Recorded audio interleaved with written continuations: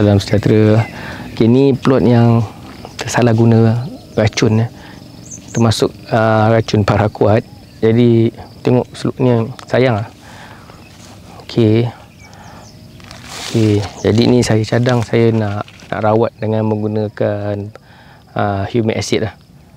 Kita tengok nanti macam mana. Kita cuba rawat balik. InsyaAllah lah kalau rasa dalam seminggu boleh pulih balik ni kalau kita cepat uh, kita cepat rawat ni lah. Okey, ni di blok B eh. Blok B. Okey, Assalamualaikum.